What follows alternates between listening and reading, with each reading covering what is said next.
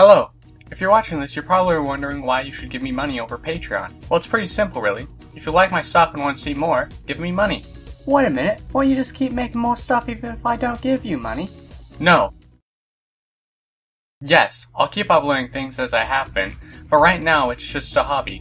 I do in my free time, and until I start making money, my schedule is more of a goal than a guarantee. If I don't have enough time to upload something one month, then I don't upload something that month. How will giving you money help you have more time? Sounds more like you need a calendar than our money. The number one reason I don't have time to make updates and new content is because I'm busy at work, earning money. So I'm allowed to be alive and the IRS doesn't kill me in my sleep. The more money I get from making cartoons, the less money I need from work, and that means I'll be able to focus on making content more and more. Maybe someday I'll be a full-time artist. That's good and all, but what's in it for us?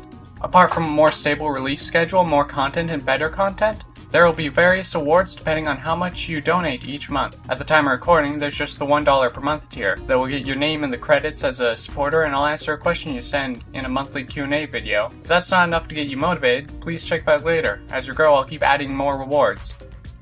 Oh, and if you don't like my stuff and don't want to see more,